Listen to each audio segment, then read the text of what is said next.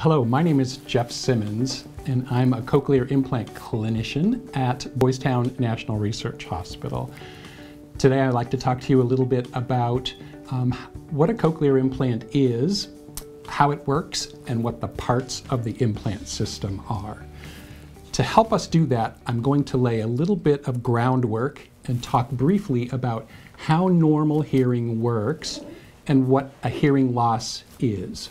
Um, so I have a model here of the human auditory system, and it's composed of three parts. We have the outer ear, which is the part that is visible to us, and the ear canal.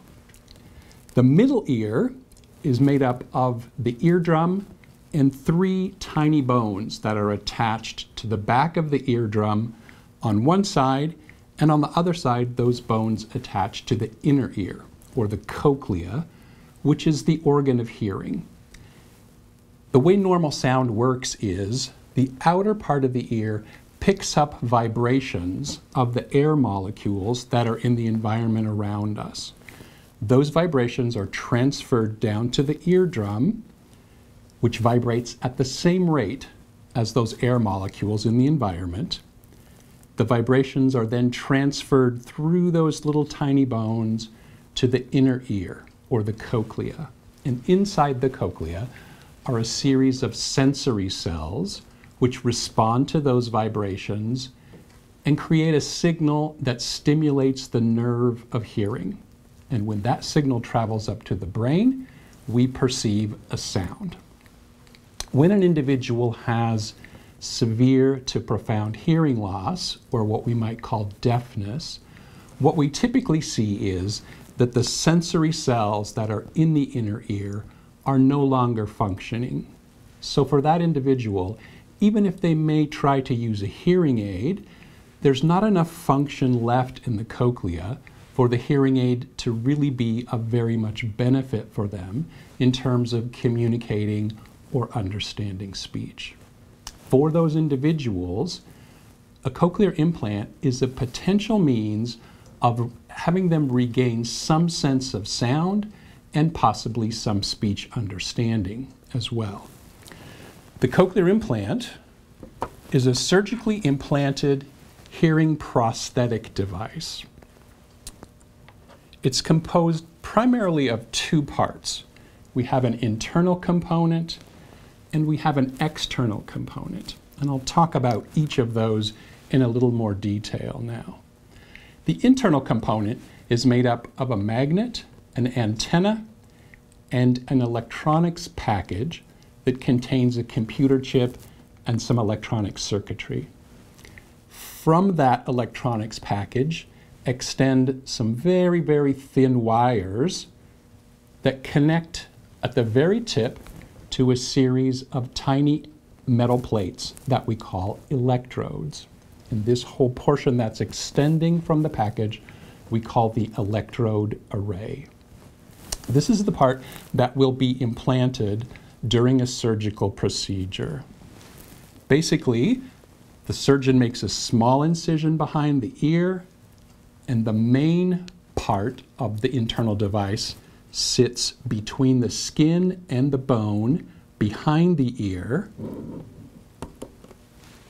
and the tip of our electrode array that contains our small metal plates or electrodes will ultimately be inserted into the cochlea, into the organ of hearing.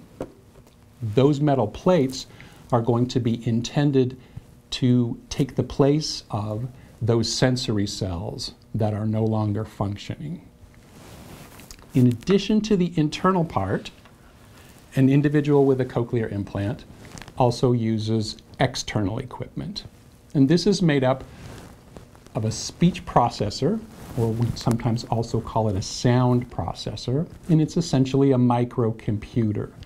In addition to the microcomputer, there is a magnetic headpiece that is connected to the speech processor with a cable, and there's also some sort of battery supply or power source that allows the whole unit to function. In many, many cases, the processor is worn on the ear, similar to what a hearing aid would be um, similar to the way that a hearing aid would be, although there are also some options in which a user can have the processor off the ear and somewhere on the body.